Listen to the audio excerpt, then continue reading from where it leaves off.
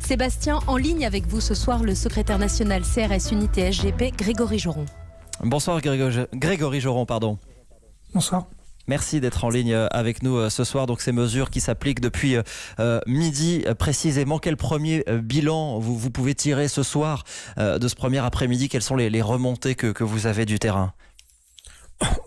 Globalement, ça semble s'être bien passé. On a, on a, semble-t-il, peu de verbalisation, des gens qui comprennent, même si euh, à certains endroits, évidemment, euh, le message a encore du mal euh, à passer. On le voit dans certains quartiers parisiens, par exemple.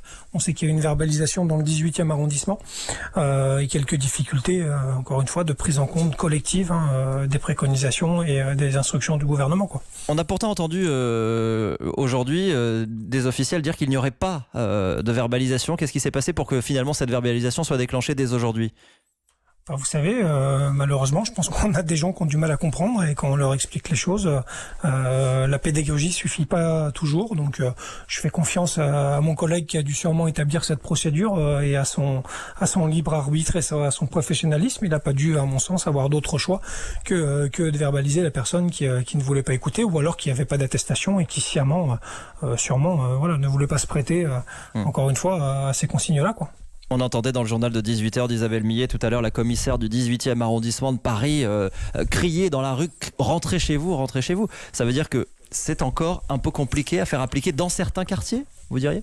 Oui, c'est un peu compliqué à faire appliquer dans certains quartiers, sûrement dans d'autres villes de province aussi, où euh, finalement les gens sont un peu concernés parce que parce que encore une fois, euh, il y a tant, qu'on n'est pas totalement face face à la difficulté, on se rend pas compte que c'est quelque chose, euh, c'est un virus particulier qui on peut être porteur sain, contaminer tous les autres sans être jamais malade, et cette prise de conscience là, elle est, elle est longue à venir. Au-delà de ça, nous les policiers, on a aussi voilà des difficultés en termes de matériel, puisqu'aujourd'hui on demande à cette première ligne sur le terrain et ces 100 000 policiers et gendarmes d'aller contrôler les gens euh, sans, euh, sans qu'ils soient euh, équipés euh, de masques et, de gants non plus. Donc euh, donc c'est là qu'il y a une incohérence pour nous qu'on dénonce depuis trois jours en haut lieu puisque ça pose quand même aussi des difficultés dans nos rangs et des questionnements qui sont tout à fait légitimes. Oui, vous parlez des, des masques. La consigne a été donnée pour que les policiers ne portent pas de, de, de masques là-dessus. Alors à certains endroits, heureusement ils en ont. À certains et à d'autres endroits, on, consigne a été donnée en effet de ne pas porter les masques. Donc c'est Comment vous comprenez ça non, pas du tout. C'est incohérent avec les avec euh, avec les annonces euh, du président et même du ministre. Aujourd'hui, on nous dit qu'il faut une distanciation sociale, euh, qu'il faut éviter les contacts autant que faire se peut et et, et les réduire à la stricte nécessité. Et on demande à mes collègues d'aller sur le terrain, mettre en place ces mesures sans sans être protégés. Donc donc évidemment que ça nous pose problème. on demande la dotation individuelle de masques et de l'essentiel, hein, de masques et de gants et, et de gel hydroalcoolique. ça tarde à venir.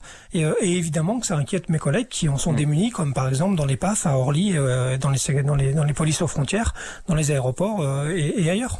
Et on comprend que ça, peut être compliqué de, de contrôler l'attestation d'un d'un passant en restant à un mètre de lui, évidemment oui, plus bah d'un mètre comme la euh, consigne euh, devrait s'appliquer. Exactement, à plus d'un mètre. Alors on nous dit il faut tendre le bras, il faut faire poser l'attestation par terre, mais ça c'est comme tout, c'est dans les jolis livres de formation euh, et malheureusement la réalité de terrain est souvent tout autre. Et, et donc voilà, nos, collègues demandent et, et on s'en fait évidemment le relais à être équipés encore une fois de, des moyens essentiels qui aujourd'hui sont, sont, sont soit quasiment épuisés, soit inexistants.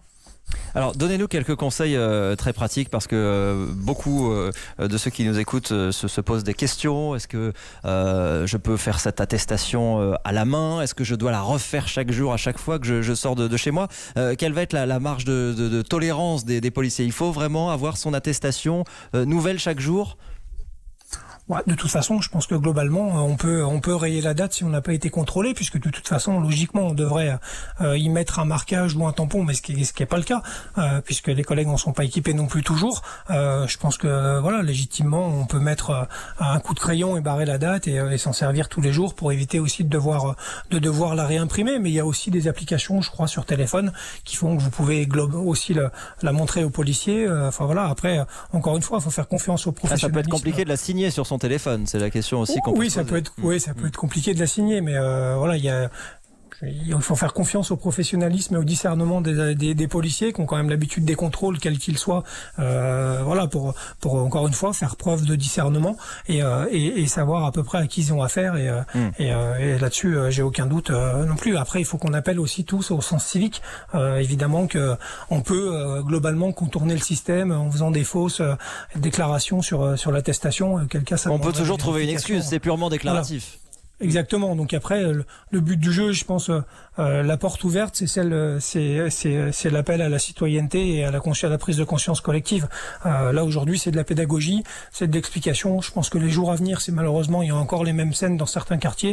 Et eh ben, il faudra forcément de la fermeté, puisqu'aujourd'hui, euh, et eh ben potentiellement, c'est simplement des vies qu'on doit sauver en essayant de rester chez soi et, de se confiner au maximum. Hmm. Certains se, se, posent la question je, je peux faire de l'exercice. Euh, Christophe Castaner dit à proximité immédiate du domicile. On imagine quelqu'un qui va courir peut s'éloigner un peu de son domicile. Là aussi, il y aura une marge de, euh, tolérance? Euh, oui, évidemment, mais ça, c'est encore une fois, c'est euh, du bon sens et et, si la personne est seule, voilà, qui c'est pas la cohue et qu'on court pas en groupe un semi-marathon, évidemment, on peut faire un footing de 5 km autour de chez soi, voilà, si si c'est si toléré et, et, préconisé dans, dans l'arrêté qui a été qui a été sorti, bon voilà, dont acte, les policiers appliqueront. Le critère, c'est d'être seul. Ça restera le, critère euh, euh, principal pour les policiers. C'est les attroupements que vous allez rechercher. Bien sûr, oui, évidemment, oui, mm. euh, c'est des attroupements. C'est euh, vous l'avez vu hein, sur justement l'image de vous, enfin que vous parliez tout à l'heure, dont vous parliez tout à l'heure sur le 18e. C'est des gens qui sont dans la rue et qui respectent pas les un mètre euh, de distance, qui se voilà, qui, qui se promènent sans attestation, qui qui voilà. Encore une fois, ça va être ça va être, mais ça ça va mettre sûrement quelques jours encore une fois pour que cette cette prise de conscience collective qui est qui est longue à venir et, et, qui et qui demandera à certains moments de toute façon une fermeté de la part de la part des policiers, mais mais qui sont prêts à l'appliquer.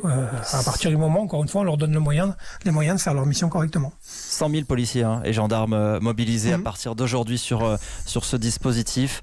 Euh, dans, dans, dans, quel état, j'ai envie de vous demander, sont, de, ce sont les, les moyens humains de, de, de la police aujourd'hui? On sait qu'ils ont été extrêmement sollicités ces, ces, derniers mois. comment vous vous organisez aujourd'hui pour à nouveau être mobilisés pendant probablement plusieurs semaines? Eh ben, on demande simplement aussi du bon sens. Hein. On a, on l'a réclamé auprès du directeur général de la police nationale ainsi que du ministre de l'Intérieur. Euh, je pense qu'aujourd'hui, il faut, faut enlever le décor, il faut, il faut aller à l'essentiel et, et, et, et, maintenir une capacité opérationnelle justement pour l'essentiel. Donc je vous cache pas que euh, première journée hein, euh, post euh, annonce gouvernementale, c'est toujours un peu compliqué puisqu'on a des chefs de service qui par inconscience, euh, inconsistance, euh, bêtise, je sais pas, les trois à la fois, euh, ne prennent pas en compte certaines mesures, font fonctionner les services comme s'il ne se passait rien, alors que le but du jeu, c'est justement d'avoir une capacité dans la durée sur ces missions essentielles de contrôle de police-secours, parce qu'il est hors de question aussi d'abandonner le terrain et de faire croire que à la petite et moyenne délinquance qu'on pourrait, qui pourrait faire n'importe quoi. donc tout, tout cet équilibre-là, euh, pour aller le chercher, il faut recentrer les missions. Et aujourd'hui, on s'aperçoit qu'à certains endroits, euh, et eh ben c'est pas pris en compte. Et on fait et les chefs de service font fonctionner leur service normalement. Euh, malheureusement, le président de la République l'a déclaré six fois, je pense hier, dans son allocution. Euh, nous sommes en guerre. Bah, j'ai envie de lui dire, euh, il y a des cadres de la police qui font la gare en costume cravate et qui se rendent pas compte aujourd'hui des, des, mesures qu'ils doivent prendre et, et qui veulent de toute façon pas les appliquer d'après ce qu'on sait. Donc, donc nous, ça nous pose aussi souci. Merci beaucoup Grégory Joron d'avoir été en ligne euh, ce soir avec nous, euh, secrétaire national du syndicat Unité SGP euh, Police.